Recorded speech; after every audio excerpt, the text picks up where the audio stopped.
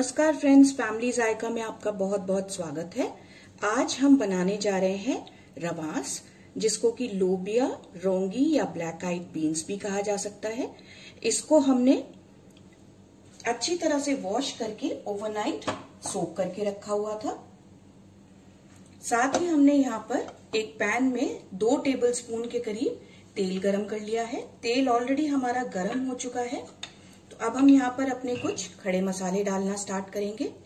एक हमने यहाँ पर तेज पत्ता लिया हुआ है, वो डाल रहे हैं। एक दालचीनी का टुकड़ा डाल रहे हैं। एक बड़ी इलायची ली हुई है, जिसको हमने हल्का सा तोड़ लिया था। और कुछ लौंग और काली मिर्च हमने यहाँ पर ली हुई है, ये हम इसमें डाल देंगे। जैसे ही इनमें से थोड़ी सी खुशबू आने लगेगी तो हम इसमें एक टेबल स्पून एक टीस्पून के करीब जीरा डालेंगे।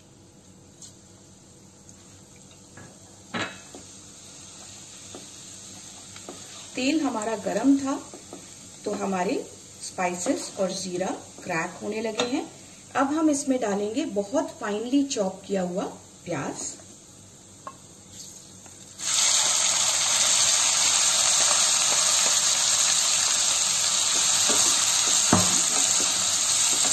अब इस प्याज को हमें इसमें तब तक भूनना है, तब तक जब तक कि ये ब्राउन कलर ना ले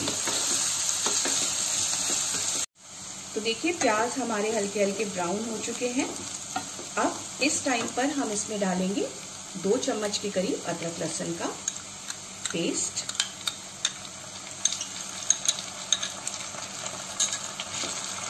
अच्छी तरह से मिक्स करेंगे इसको इसी टाइम पर हम अपने कुछ सूखे मसाले भी इसमें ऐड करेंगे। आधा चम्मच यहाँ हमने हल्दी पाउडर लिया हुआ है, वो डालेंगे।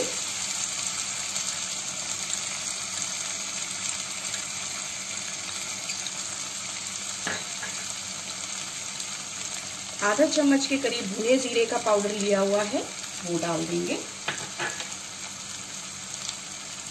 और ढाई चम्मच के करीब हमने यहाँ पर धनिया पाउडर लिया हुआ है।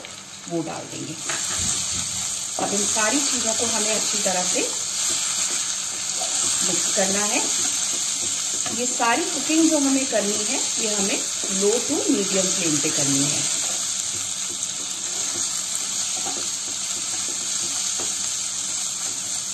मसाले हमारे अच्छी तरह से मिक्स हो गए हैं।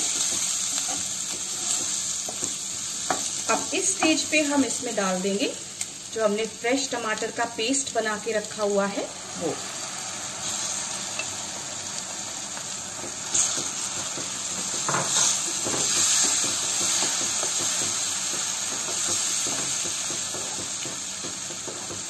साथ ही में हम इसमें टेस्ट के अकॉर्डिंग नमक ऐड करेंगे।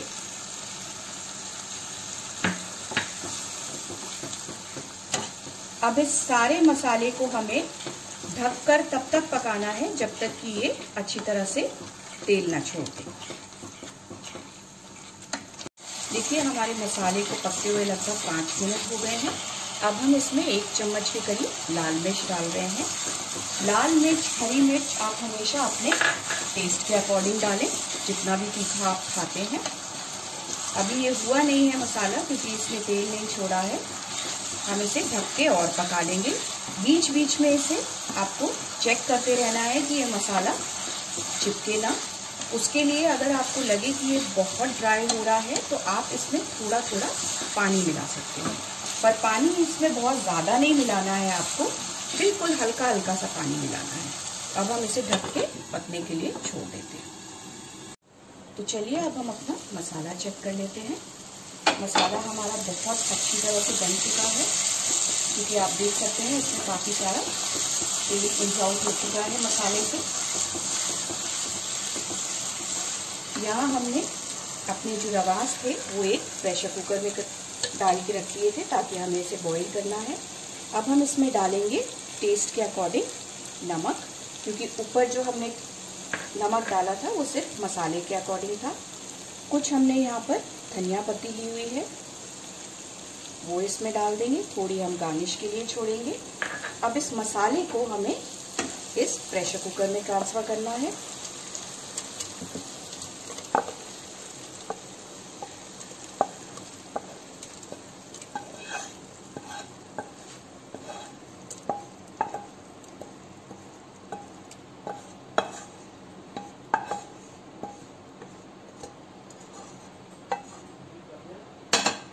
इन सारी चीज़ों को मिक्स करेंगे अच्छी तरह से।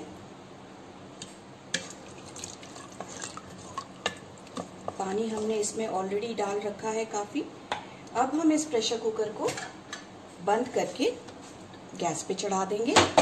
लगभग पाँच सीटी तक हम इसे पकाएँगे जब तक हमारे कमास निकल जाते। तो स्टीम हमारे कुकर की खत्म हो चुकी है। अब हम इसे खोल के चेक कर लेते हैं। देखिए कितना अच्छा कलर आया है इसका। और रवास बहुत अच्छी तरह से गल भी चुके हैं। हम इसको थोड़ा सा प्रेस करके चेक कर लेते हैं।